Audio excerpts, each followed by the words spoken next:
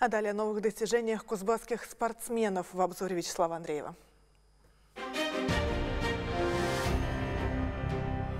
Металлург из Новокузнецка в Ижевске на выезде встретился с местной Ижсталью. Матч прошел в упорной борьбе. Счет удалось открыть столеваром, причем только во втором периоде. Хозяева собрались и отквитали шайбу за 9 минут до конца. И основное время и овертайм победителя не выявили. Выясняли в серии буллитов. Точнее, были металлурги. Результат 2-1. Новокузнецкие гандболистки в составе сборной Кузбасса вышли в финал первенства страны. На межрегиональном этапе девушкам до 17 лет не было равных. Не проиграли они одной встречи. Завоевали путевку. Главные награды спорят уже в марте.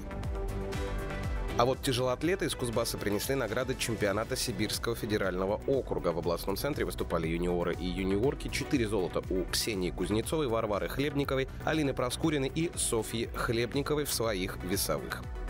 Бронзовую медаль взял на международном турнире борец из Кузбасса. В Красноярске прошли юношеские состязания на призы олимпийского чемпиона Буйвасара Сайтиева. В 80 килограммах третьим стал Иван Федоров. К этой минуте о спорте все. Вячеслав Андреев, Вести, Кузбасс.